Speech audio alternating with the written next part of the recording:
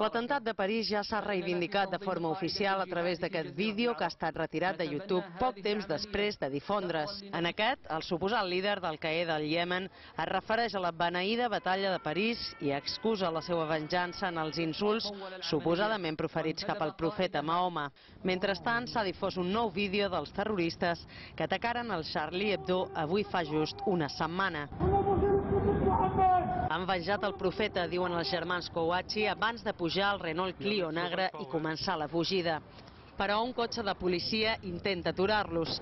Els terroristes, amb molta calma i fredor, baixen del cotxe i comencen a disparar contra els agents. La policia fa marxa enrere i els deixa partir. És la darrera mostra de l'horror que es visqué a França la setmana passada i que està mobilitzant la classe política contra el terrorisme. A París, l'Assemblea Nacional ha anunciat mesures excepcionals per evitar aquest tipus d'atemptats.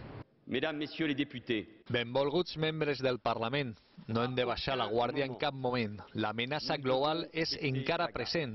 Hi ha riscos alts i seriosos vinculats als esdeveniments de la setmana passada. Es posarà en marxa un nou registre de persones condemnades per terrorisme. S'agruparan en una mateixa ala dels centres penitenciaris els presos radicalitzats i es vigilarà especialment l'internet i les xarxes socials. Aquest va ser el moment més emotiu que es va viure ahir. Els parlamentaris entonaren la marsellesa, que no es cantava en aquest espai des de l'any 1918, data de l'armistici de la Primera Guerra Mundial.